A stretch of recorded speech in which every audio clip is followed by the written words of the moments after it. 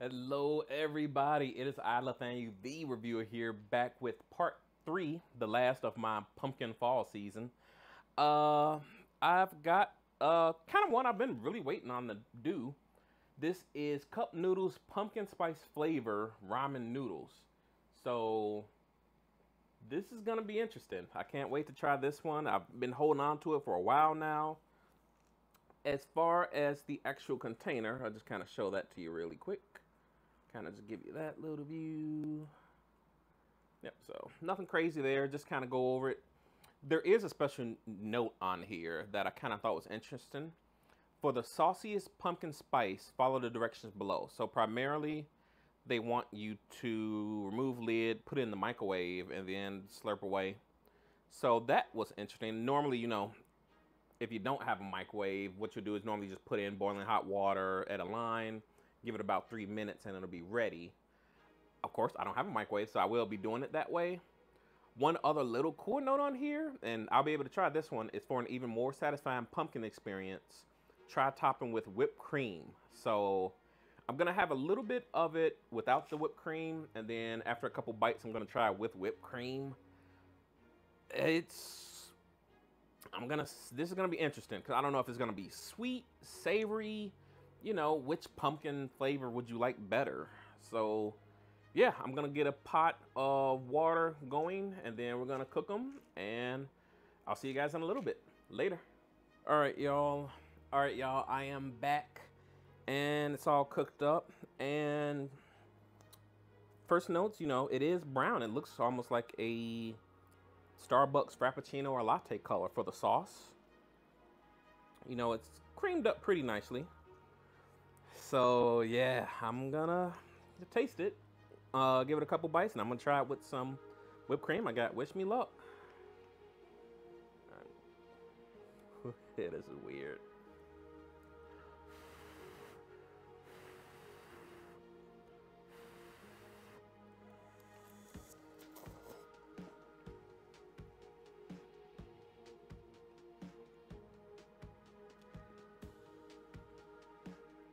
Oh my God. That's much better than I thought this would ever be. Wow. Wow, that's really good. This is blowing my mind.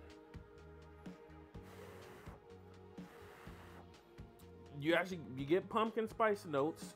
There is a little bit of sweetness to it, but it's not too sweet. Wow. Pardon my slurping, but this is really good. I am actually surprised. You know, because I didn't know what to expect. I didn't know if it was going to be sweet, savory, salty, you know, regular oriental kind of broth. Wow. Or soy sauce if you want to go with the modern version. That's really good. And, you know, the messed up thing now is if you're trying to look for these, I don't know if they're bringing them back this fall they originally came out last year. I've seen them go now on eBay from just one of these cups anywhere from 10 to 20 bucks on eBay, sold prices. You know, I've got one more after this.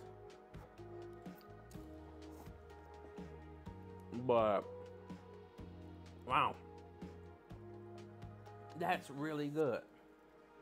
I am thoroughly surprised because, you know, if you remember uh, several months back, I did the breakfast uh, ramen. And I was actually quite disappointed in that one because you didn't really get enough hints of the sausage, the egg, the maple syrup.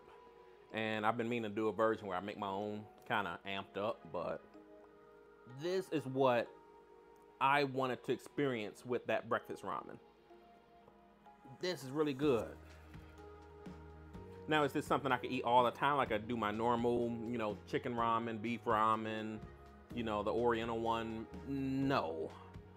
Um, I would almost treat this like a special treat. This is a good annual flavor. This would leave a good memory, a good impression on like, man, remember that pumpkin spice ramen? And it comes in and it clicks.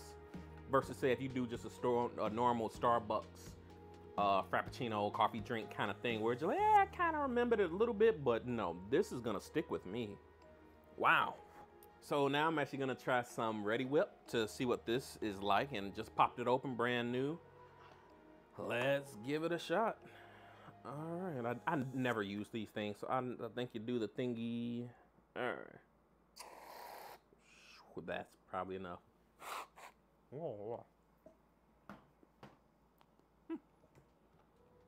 All right, so I got quite a bit in there. Hopefully you can see that. But kind of got too much right there. Like, you would never expect this to be ramen, but let's see if this might be too much.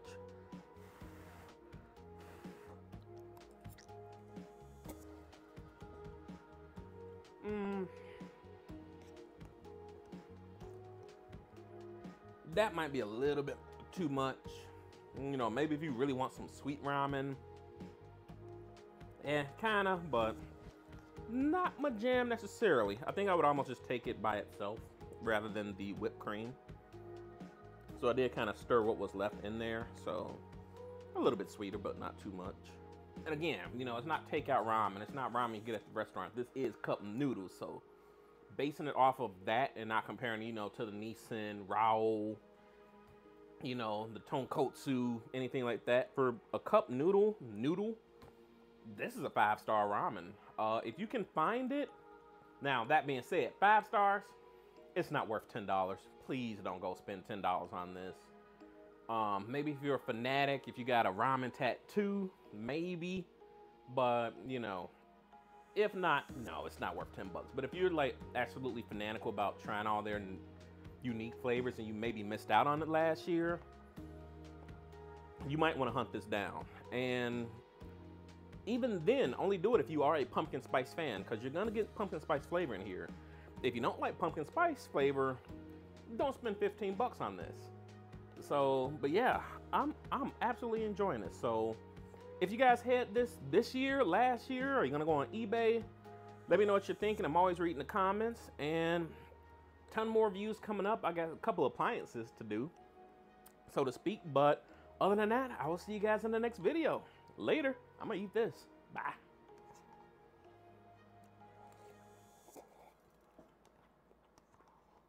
Damn, that's good.